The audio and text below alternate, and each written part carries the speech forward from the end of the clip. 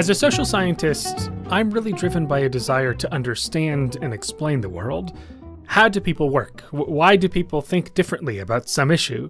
It's a nagging curiosity that fuels all this work.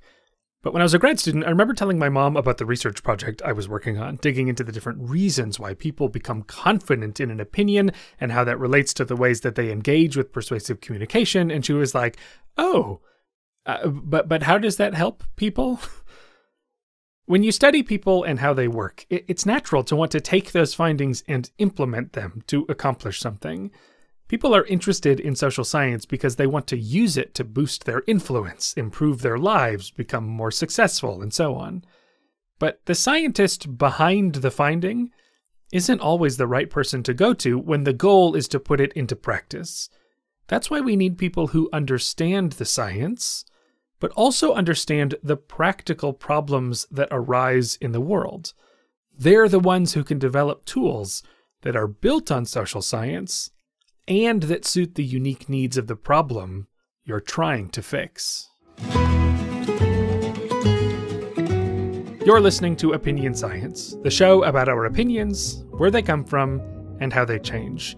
I'm Andy Luttrell, and this week I talked to Melina Palmer. She's the founder and CEO of The Brainy Business, which provides behavioral economics consulting to businesses around the world. Earlier this year, she released her first book, What Your Customer Wants and Can't Tell You. And she also hosts the popular podcast, The Brainy Business. I was on it a few months ago. Check out episode 173 if you want to hear this voice answering questions instead of asking them. I wanted to talk to Melina about how she got involved in social science and applying it to the business world, and how she goes about bridging the research with its application.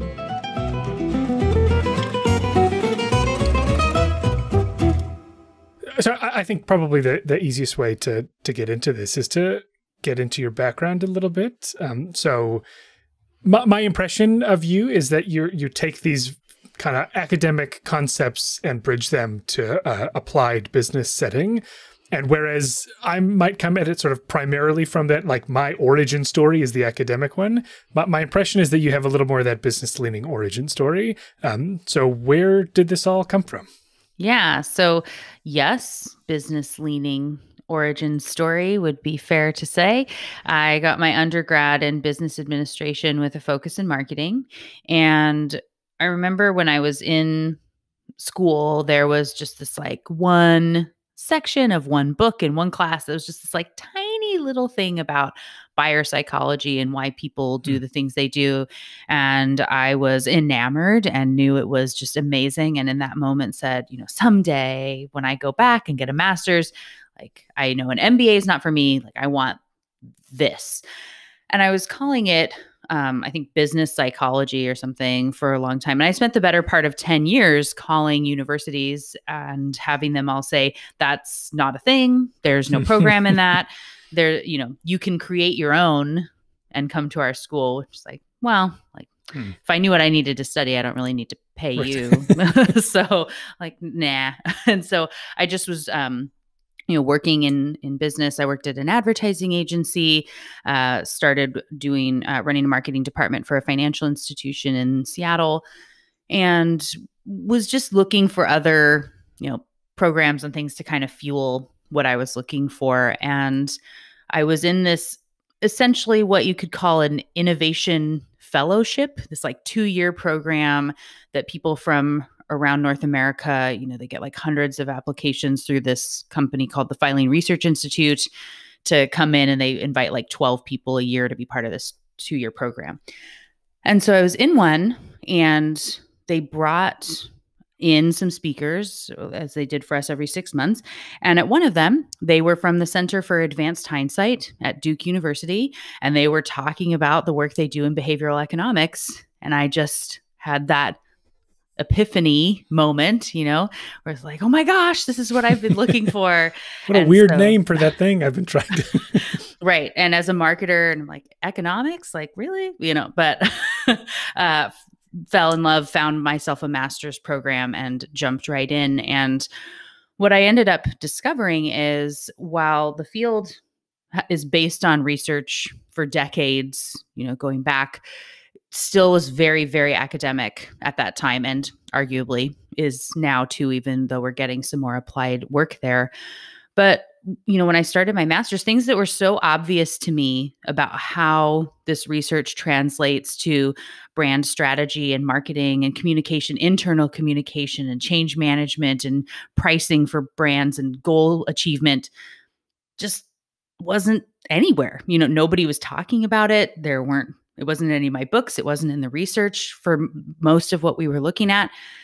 And so I said, well, I guess uh, I'll start, I'll do that. I'll start talking about it more and launched what, as far as I know, is the first behavioral economics podcast specifically for business um, in the world and had many people find it organically now in over 170 countries and just lots of people were looking for what I wanted to talk about and find myself. And so, yeah, here we are.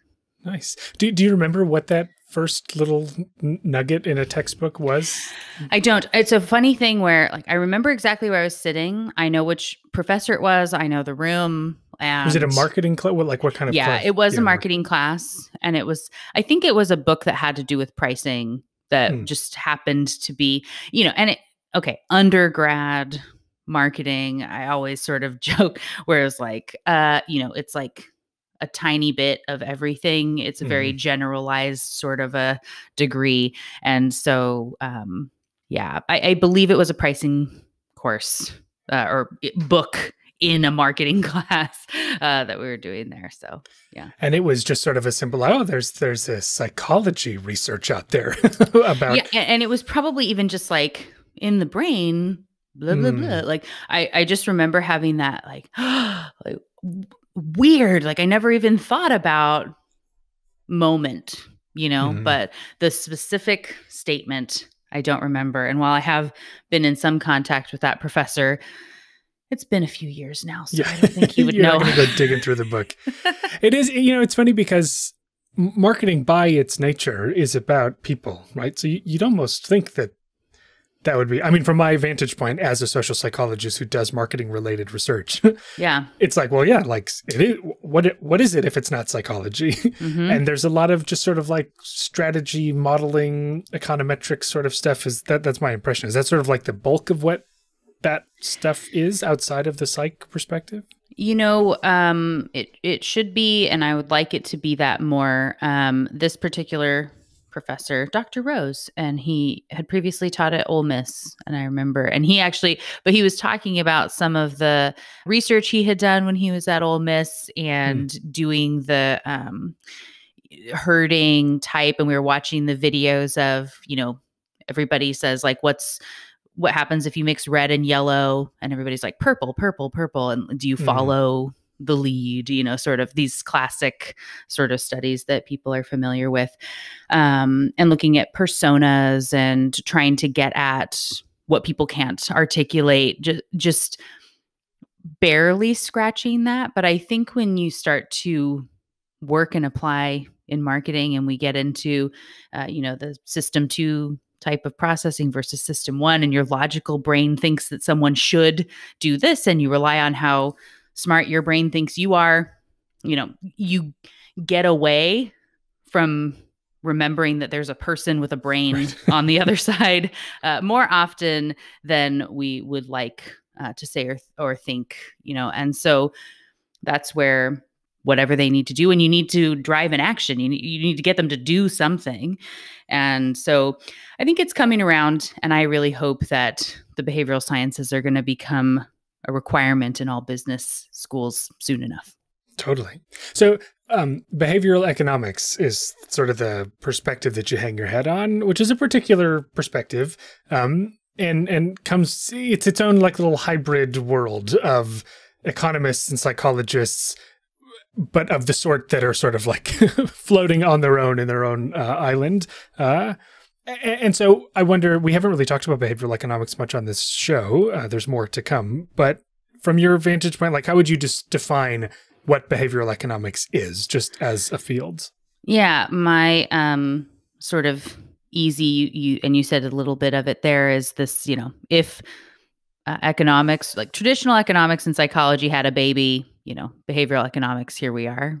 and so knowing that really the field came about because traditional economics built models assuming logical people making rational choices in everything that they do. And because our world is made up of imperfect humans uh, and our brains, you know, don't really work that way as much as we would like for them to. Uh, you know, you end up with models that don't accurately predict behavior. It's what people should do and not what they actually do. And so over time, you had economists, uh, psychologists, neuroscientists, uh, all kind of either working together on projects or entering into one another's fields to try to answer these questions and see if there are these common threads within the brain that can be used to more accurately predict what people will really do and then to use that for messaging and things like that. So that's how behavioral economics was born. Did, um, when you first sort of came upon behavioral economics, do you know kind of what that first insight was? Like, what was the thing you said it sort of blew your head open? what about it was like so surprising? Yeah. So I actually uh, know from so when the folks from Duke University's Center for Advanced Hindsight were presenting, they were talking about an experiment that they had done in Kenya. And so, like I said, I was from a financial institution, so this is about helping people to save money. And they were looking at all these, I think they had 12 uh, different types of interventions that they were running uh, to help people to save over six months. And so you had, you know, text messages that would come to you as if they were from your kid saying, Wow, mom, thank you so much for investing in my future. It means a lot to help kind of nudge you to do the thing you said you wanted to do, looking at like a hot cold empathy gap or something like that. Uh, they also had matching funds, a couple of other things. And then, you know, they had sort of thrown in this gold coin, which uh, around one side had the numbers 1 through 12 and 13 through 24 on the other because it's a 24 week program. And just each week, if you saved like you were supposed to, you put a little notch on the edge of the coin through those. So you get some gamification, the priming reminder from the coin. And what they found was that this coin, this thing they sort of threw in as an like, let's see what happens, was the most effective. And actually, it was most effective even on its own without matching funds, which mm. for financial institutions, it's very expensive to try and encourage people to save. And even though people say they want to hmm. save, mm. we say we want to help you save, it's just a constant issue and it can be very expensive. And so, this idea of something that's built on these principles that can help a financial institution to help its I was at a credit union so members to save money like they want that's not going to cost a lot of money is like amazing. and so I ended up actually when I got my masters I had to do the dissertation which master's level is different than phd level and i'm very aware so research project we shall say um, but i worked with the Filene research institute to tur- turn that into a white paper. I did a version of the gold coin experiment. Hmm. Uh, Dan Ariely, who is the head of the center at Duke University and very well known within the field of behavioral economics, uh, was nice enough to have a call with me as a lowly master's student saying, Hey, I want to extend your research and would love to hear a little bit about you know every section of an academic paper has the for future studies would recommend look at this or that or the other so he had a chat with me and i ended up uh, landing on doing a refrigerator magnet because you know here in the us we're not carrying around like doubloons in our pocket so gold coins are not really relevant and even an app it's not you can easily ignore a notification mm-hmm. whereas you know this magnet on your fridge and it had I did like gold stuff around numbered 1 through 24 it was lottery kind of scratch material mm. that you can do each week if you mm. save uh, with a financial institution over um, the 24 weeks and we did find that that condition uh, people saved more and they had a greater a higher they use net promoter score if anyone's familiar with nps within the finance for the organization, its likelihood that you would recommend Oh, sure. to somebody else uh, than the other two groups. So, yeah. I was wondering you know, what's in it for the institution, uh, and I suppose I, I guess there are there are institutional reasons why you'd want people to keep money in your bank or, or credit union, but that it's also getting people to feel more committed, right? They're like, oh, I was able to help myself through this program. Um, so then everybody wins on those outcomes. yeah, the, I mean, there's a loyalty piece that comes in with that for sure. Uh, but also, so credit unions specifically, and then uh, community banks more, but you know, credit unions are built, they're not for profit financial institutions, and they're built on a philosophy of people helping people.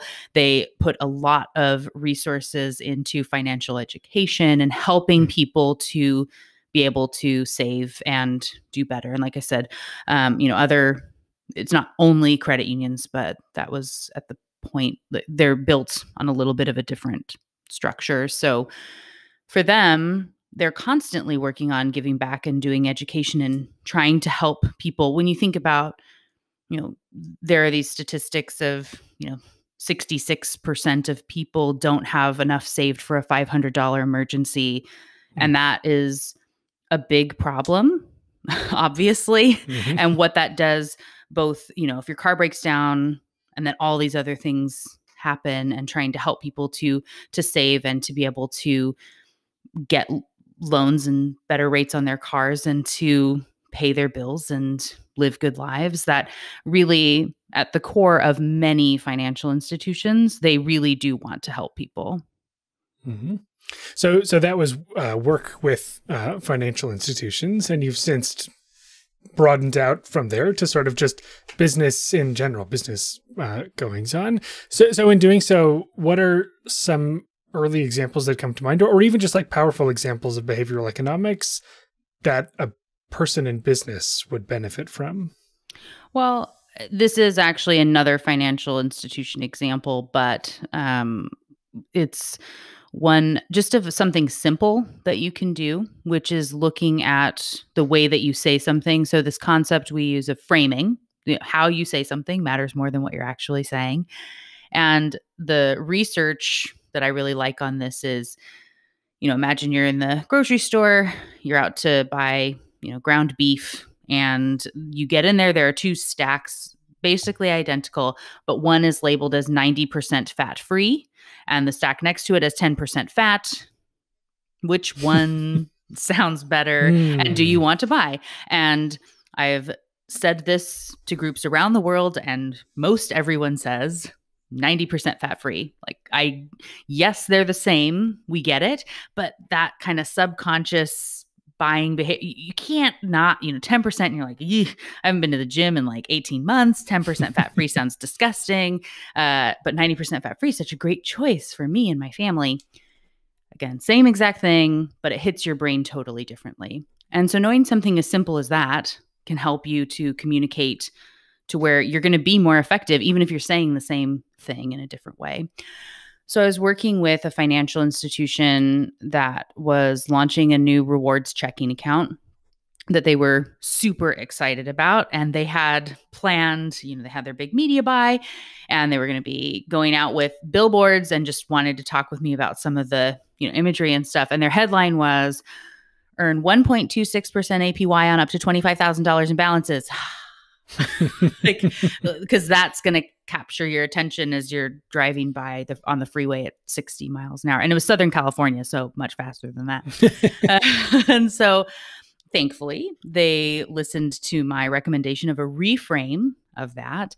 And so instead the message that i got them to put out there was did your checking account pay you $315 last year? It's a very clear no they did not and who's talking about that?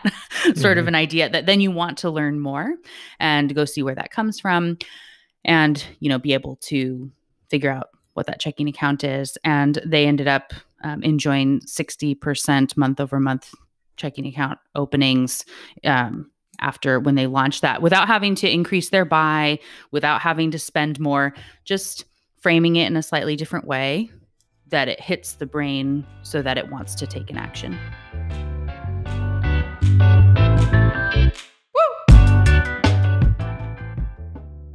Not many people know that there was a successful overthrowing of the government in Wilmington, North Carolina by white supremacists. It happened in 1898, and it's one of those stories they don't really teach in school. And nobody knows that the guy who invented Pringles was buried inside a Pringles can. What do these two stories have in common? They're both episodes of a new podcast, The Internet Says It's True. Every week, a listener calls in with some strange or bizarre story that sounds like it's made up, but it's actually true. Like, did you know that Big Bird was originally supposed to be on the Challenger space shuttle? How about this one? In 1958, the Air Force accidentally dropped a nuclear bomb on South Carolina. Every week, I bring on a different celebrity guest to play a game show style quick quiz to test their knowledge on that week's topic. Once again, the name of the show is The Internet Says It's True, and it's available wherever you're listening. Come learn with us. Uh, do, do you have any advice for folks who know the research, who know the principles, but are now in a position to apply them? Right. I think this is a conundrum that that I certainly am faced with where I go, I'm perfectly happy to just go, isn't it interesting that people prefer this one frame over the other?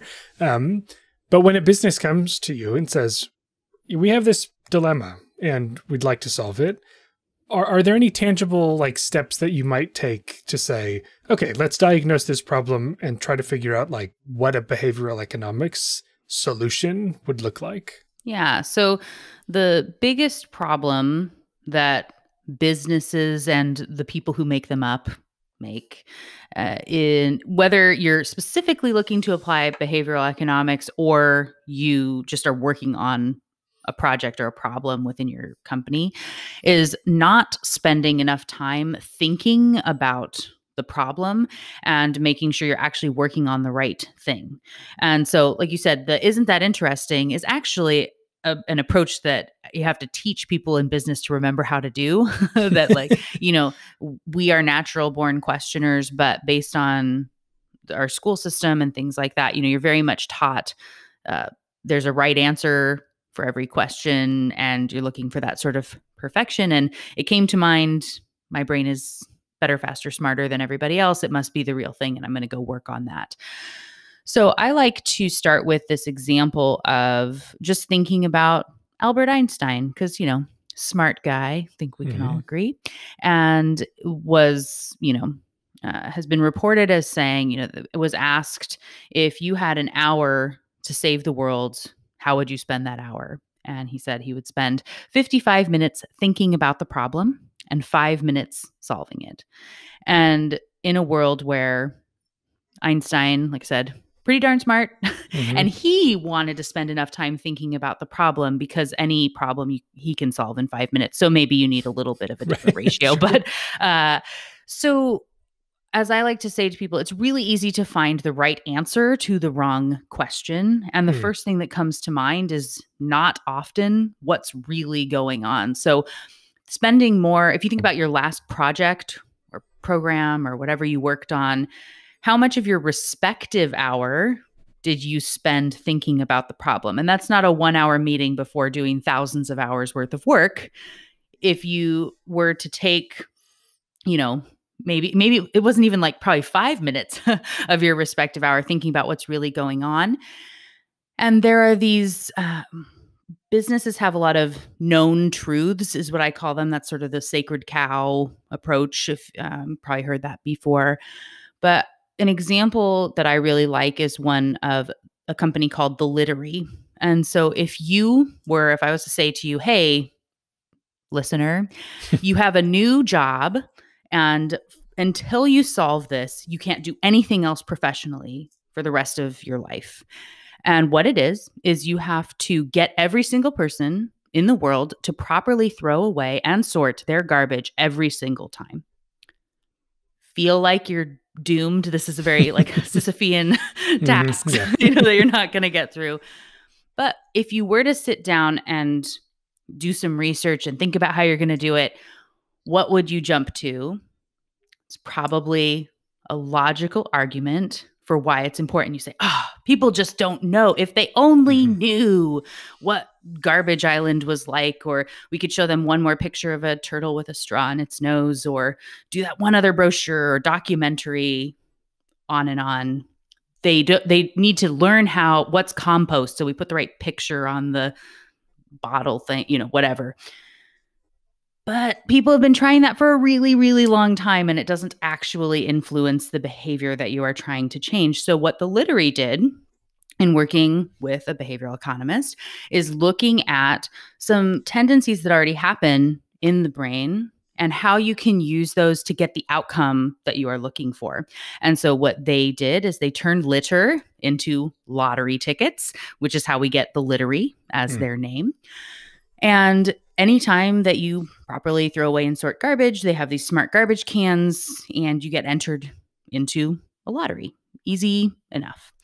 Where they decided to test was in movie theaters, which, if you remember, are Yeah. pretty gross.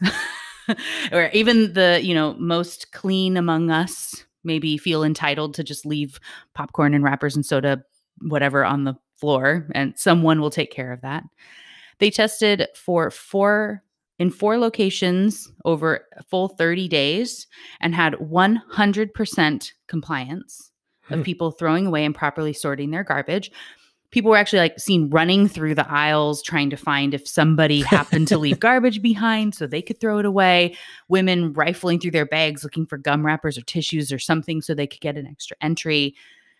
And no one had to tell them what was compost and what was recycling and whatever they knew what they needed to do. They threw it all away properly. And the prize in that case was only 5,000 euro, which is a lot. But if you think, you know, they're partnering with statewide or countrywide lotteries where you can win 1000000s Mhm. now instead of when you're walking down the street and you see, you know, a bottle and you think, ugh, some people are disgusting. And then you just keep going. you instead go, ooh, I could win a million bucks. I'm going to throw that away. And it gets you to change your behavior. So, lesson there understanding the behavior that needs to change, what's keeping people from doing it. And, and this is actually one of the hard, really hard parts, I think, for people in business overcoming your desire to have someone motivated and as excited and passionate about it for the exact same reason that you are to get them to change their behavior. So, would you rather have, in this case, people know the exact dimensions of Garbage Island and what all matters there, and they don't recycle, or they have no idea of it at all, Mhm. but they're more likely to put things where they're supposed to be. So their behavior changed, but for perhaps the wrong reason. Hmm. You know, that so overcoming that mental block is a big piece. So, so in that case, in terms of diagnosing the problem, the problem is not about awareness of the utility of recycling or the the um, the positive benefits of sorting your trash. What what was the in that case like what was the actual problem that people were overlooking? Uh, just physically throwing things away, caring enough in the moment to Mhm. do something about what needs to be done. This, in the space of behavioral economics, we talk about nudges. Um, and so, where someone is inherently nudgeable to get them to change their behavior. So, when you're kind of on the fence and you could go either way, I might care enough that I'm going to take 10 steps to put it in the recycling, or I don't really care and I'm just going to drop it or throw it out the window or whatever that is. Um, another really great example of a nudgeable moment is a study that was done in the UK with opportunistic insurance fraud. These are those little tiny little Hmm. fibs that you have of like, I know my 16 year old son's going to be the primary driver, but I'm going to say it's me because it's going to save me a little bit every month Mhm. It's not something you probably planned for months. They're like, wahaha, when I transfer, you know, I'm going to do How this. devious. Right. In the moment, you just kind of go, you could go either way. This is your nudgeable moment. This problem was costing the insurance industry 1 billion pounds across the UK every single year, which means everyone's premiums are higher. And it may feel like what do we do? You know, how are you supposed to actually get anybody to change that behavior? That's just how it is. And it was sort of ex- um, accepted for a long time. And then they did some research and tested some of these little nudges that they could incorporate. One of them using priming to where we've all had to prove we're not a robot many, many times. Mm-hmm. And so the CAPTCHA in this case, the word you had to type was honesty. You wouldn't even think twice about it because it's a randomly generated thing, but it was able to reduce those hmm. opportunistic fraud moments by like 50%, wow. which when we're talking about a billion pound problem, you know, that's hmm. 500 million that is saved from something so simple that nobody noticed, you know, logically. And it helps everybody out, really. Mm-hmm. Yeah, I'm thinking of sort of translating this approach to like persuasion from the perspective that I often come at it to, because it's like sometimes you go, I, I, I wish people could see this my way. I wish people would support this political candidate who I know is going to like make change or whatever. Um, and and we go, I just need to tell him this, right?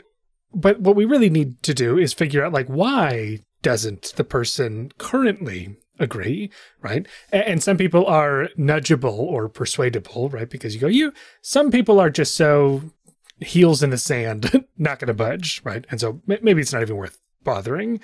But for folks who go, well, no, I mean, I, I could see this in different lights if I were to be given the right arguments, right? The only way to get through to a person in that way would be to first understand, like, what is keeping this person from seeing it this way, right? Like, why, why what would it take, in other words, for them to see it this way? So that that diagnosing the current state, like why aren't people already doing this?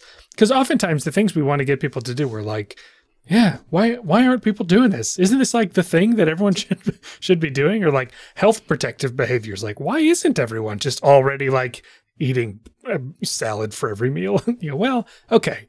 First we got to figure out why they're not, and then we can devise a solution by leveraging those motivations uh, to move forward. Does it does it sound like I'm getting your that perspective right? Yes, definitely. And so I actually teach a class at Texas A&M on internal communication and change management and like understanding mm. with the brain and how to better communicate with people as you're trying to move forward within business things which is a lot of what you're talking about there where someone's maybe feels like they're not nudgeable.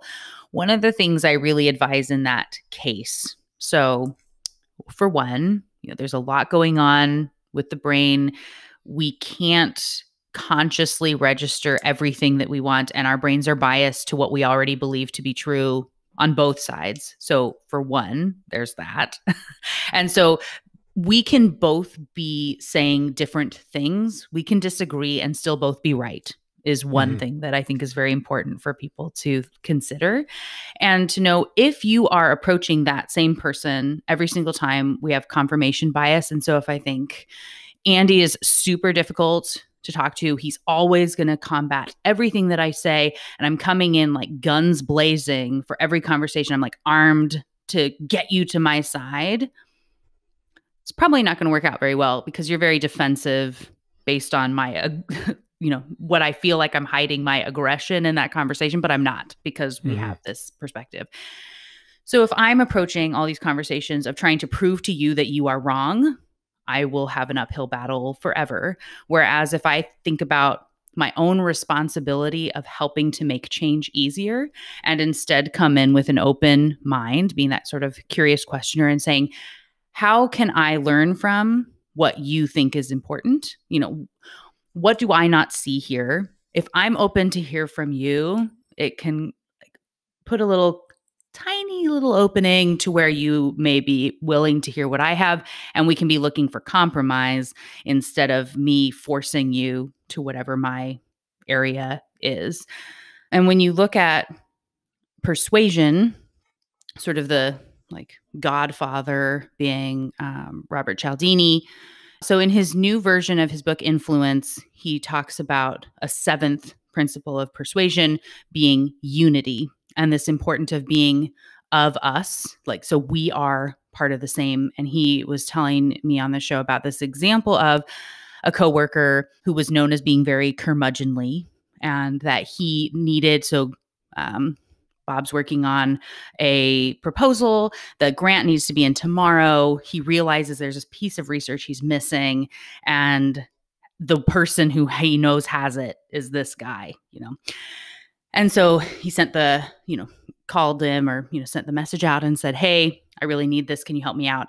And the guy's response is, You know, Bob, it's not my fault that you don't have good time management. Like, that's on you. I don't need to help you with this. To, you know, you you made your bed, sort of mm-hmm. a response. To which you could further appeal and say, but like, I really need it. Like, I, I have to have this and it's good for our whatever. And so he already said no to that mm-hmm. appeal. But instead, what he said was, you know, we've worked in the same psychology department for 12 years. I really need this. And he said he had it by the end of the day. Hmm. So appealing to being part of that same team can sometimes be enough to overcome a lot of even a curmudgeonly type of person. I want to just, uh, uh, by way of wrapping up, switch gears a little bit to talk about this um, series that you've done for your show, where you break down the success stories of major companies from the perspective of behavioral science. Um, and I'm just curious. Uh, my guess is that you just sort of thought, yeah, maybe this would be interesting. I'll try this out and and just who knows what's going to happen. And then the response has been pretty great, right? That's my impression. Yeah. Uh, yeah. and and you've done a whole bunch of them now. One of which, uh, as as of the moment we're talking, just just came out. Um, what is it about that that you think people respond so much to? I think that so I've done these. I call them a behavioral economics analysis of company, right? So we have Starbucks, Disney, Costco, Peloton, and the one that is current as of now is Amazon that just came out a couple days ago. And I think that there's a little bit of because we know the company so well, you're you can very clearly see when I talk about something and say, you know, Starbucks you and the way that they use the stars that you can earn, you know, when you're buying, and this is what it does, or the uh, Amazon Prime, it's looking at membership in this way, which is habits and herding or whatever. Because you see it and people say, oh my gosh, I I buy from them because of that. Or I I too have this scarcity piece with Costco that I feel like I have to buy anything in the moment that I like it because it might not be there in an hour if I come back, but it's because of their great return policy and whatever. So I think that being able to really clearly see when I talk about anything um, and tie back to a company that you love and a brand that you already have an affinity for. And it helps you to be able to see something in the real world. And then if I'm telling you, this is how you would think about that for your own business. And some cases, it's, I will tell you, don't just jump in and do that. Specifically, like Costco's membership model, that is not a fit for a lot of businesses, even though it may feel like it should be because it works for them. It doesn't mean it's good for you. so you really want to think through a couple things before you jump in because it happens to work for Costco. So having that sort of perspective of something you see and maybe have already thought about, you know, the I wonder why they do that and to be able to understand how they have become successful is something that people can really, you know, tie into and be able to associate and, and share with others. You sort of hinted at it, but the, the one the one caution that I have with it is you're kind of looking back from a perspective of success and you go, yeah. oh, look at all these things that like match what the principles are. But it's hard, you know, would you say that you go, okay, well, now I can take this as a lesson and I can look forward to the future for a different company and know that if I do those things, it's going to pan out. Um, I guess the meta question behind this is like, what are the promises and limitations of taking basic principles that come from the academic literature and implementing them with with any guarantee of success? I would never give a guarantee of success for one.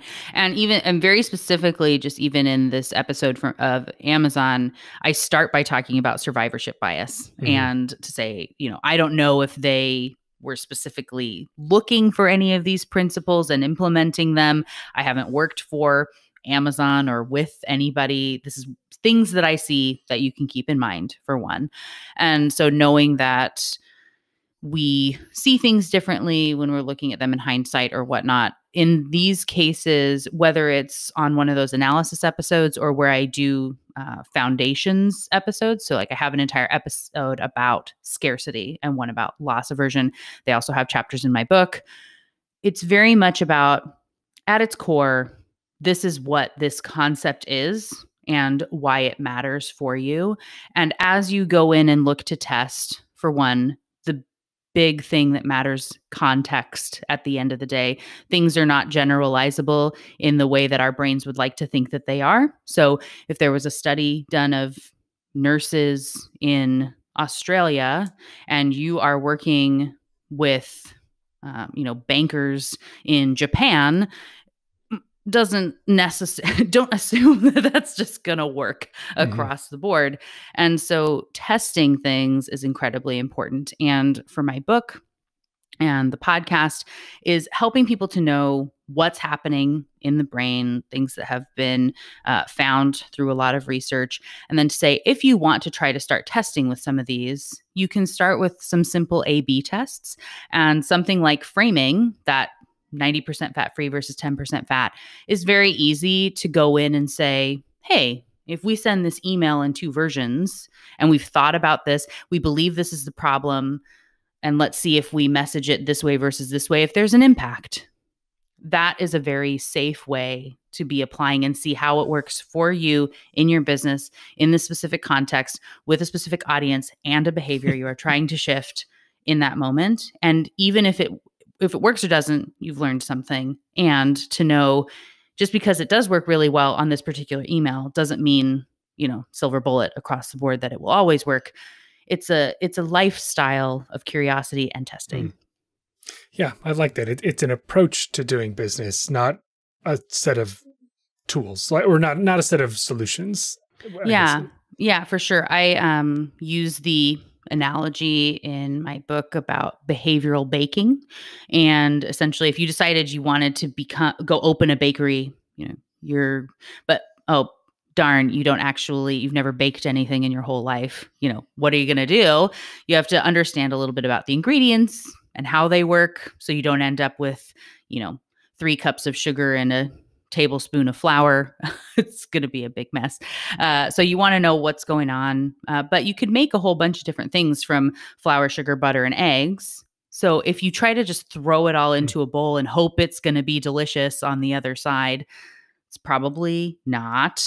and so you need to know going in am I making brownies or cupcakes or cookies or pizza dough? Because they're all using a lot of that same stuff.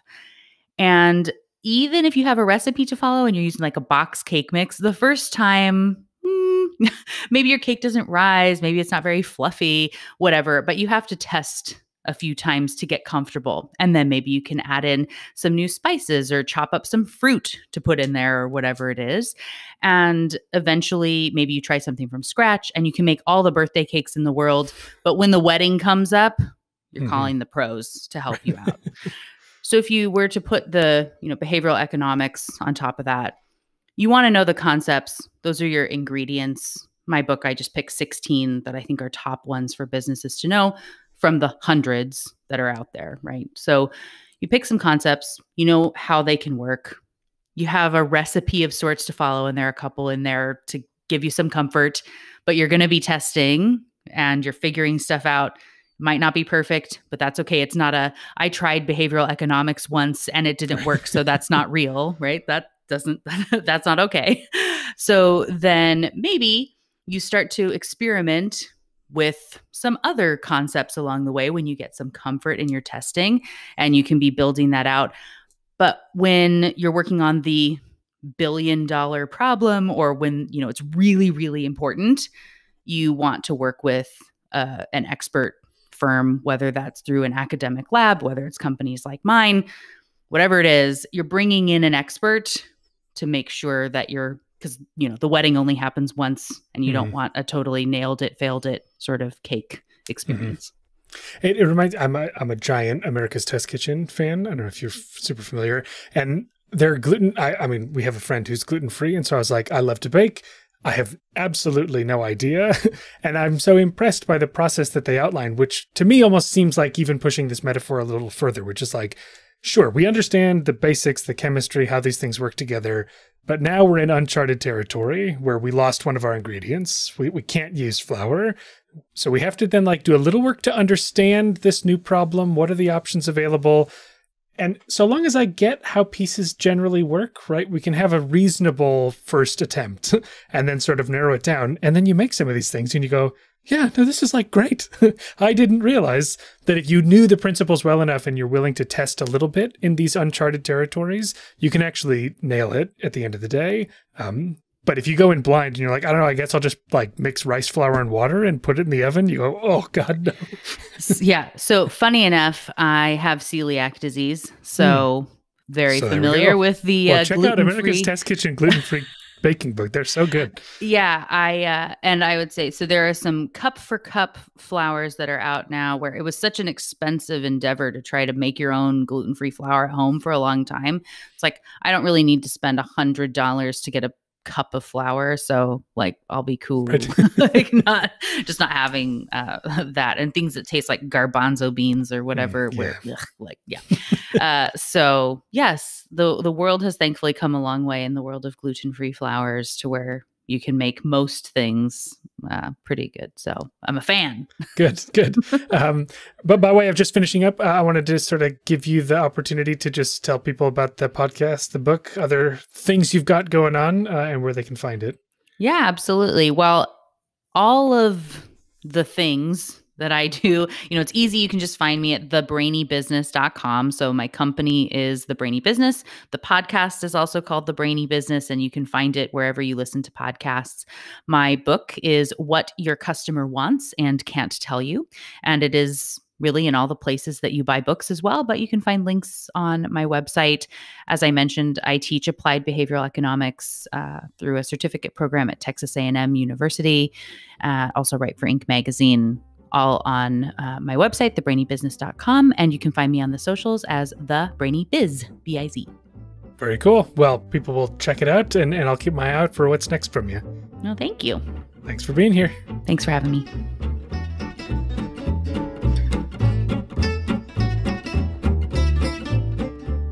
Alrighty, that'll do it for another episode of Opinion Science. Thank you to Melina Palmer for taking the time to talk about her work.